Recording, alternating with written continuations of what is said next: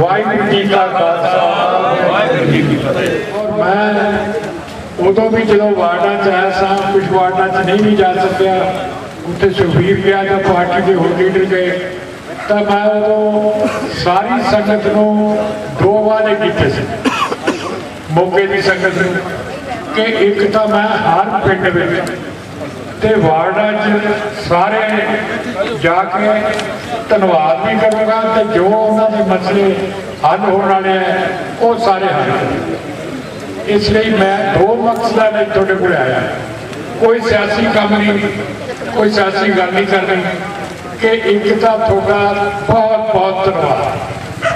ਦੂਜਾ, ਜਿਹੜੇ ਤੁਹਾਡੇ ਕੋਲ ਮਸਲੇ ਹਨ, ਕੁਛ ਤਾਂ ਕਿ ਇਹਦੇ ਟੈਂਡਰ ਟੁੰਡਰ ਕਾਲ ਕਰਦੇ ਆ ਤੇ ਸਾਹਿਬ ਮੇਰੇ ਪ੍ਰਿੰਸੀਪਲ ਸੈਕਟਰੀ ਦੱਸ ਦਿੰਦੇ ਆ।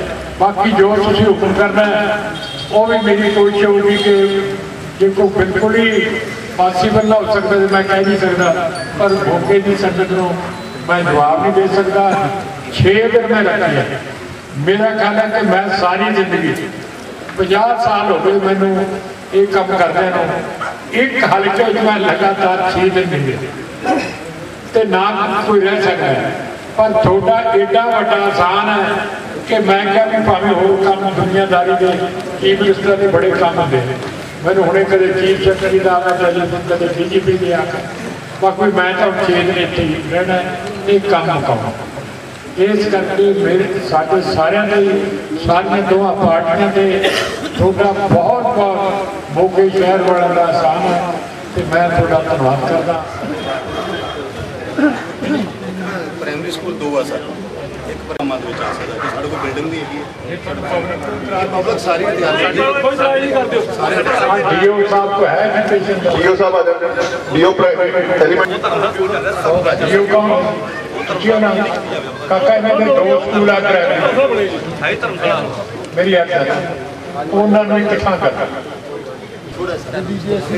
ਕੋਈ ਚਾਰ ਵਾਰੀ ਡਿੱਗਣ ਨਹੀਂ ਵੈਸੇ ਅੱਜ ਬਹੁਤ ਲਾ ਕੇ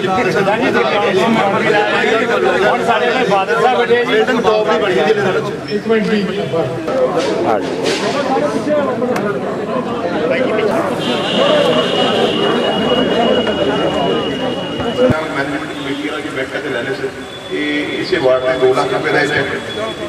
ਬਣੀ ਹੈ ਜਿਹਦੇ ਨਾਲ ਇੱਕ ਮਿੰਟ ਜੀ ਮੈਨੇਜਮੈਂਟ ਕਮੇਟੀ ਵਾਲਾ ਜੀ ਬੈਠਾ ਤੇ ਲੈਣੇ ਸੀ ਇਹ ਇਸੇ ਵਾਰਡ ਦੇ 2 ਲੱਖ ਰੁਪਏ ਦਾ ਇੱਕ ਰਸਤੇ ਤੇ ਜਿਵੇਂ ਧਰਮਸ਼ਾਲਾ ਹੈ ਕਹਿੰਦੇ ਨੇ ਕੋਈ ਰਿਪੇਅਰ ਹੋ ਜੇ ਕੋਟਾ 2.5 ਲੱਖ ਰੁਪਏ ਦੇ। ਇਹ ਤੁਸੀਂ ਦੱਸ ਦਿਓ ਜੀ? ਇਹ ਸਭ ਇਹਨਾਂ ਤੋਂ ਪੁੱਛ ਇੰਜੀਨੀਅਰ ਹੈ ਨੇ ਯੂਸਰ ਇੰਜੀਨੀਅਰ ਫੁੱਲ ਸਾਹਿਬ ਇਹਨੇ ਕੋਈ ਬਣਾਵੇ ਜੀ ਮੈਂ ਕੋਈ ਪੈਸੇ ਕੰਮ ਮੈਂ ਜੀ ਜਿਹੜਾ ਪੜਦਾ ਉਹ ਲੈ ਲਓ ਸਾਰੇ ਘਰ ਹੋ ਸਾਡੇ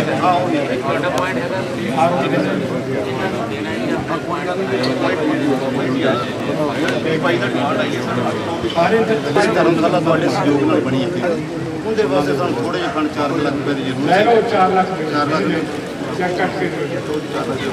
ਮੇਰੇ ਡਿਸਟ੍ਰਿਕਟ ਬਣਨਾ ਠੀਕ ਆ ਕੰਮ। ਠੀਕ ਆ ਜੀ ਕੰਮ ਜੀ। ਹੋ ਜਾਏਗਾ ਮੈਂ ਇਹ ਕੰਮ ਦਾ ਤੁਹਾਨੂੰ ਕੋਈ ਜਵਾਬ ਨਹੀਂ ਵਾਹਿਗੁਰੂ ਜੀ ਕਾ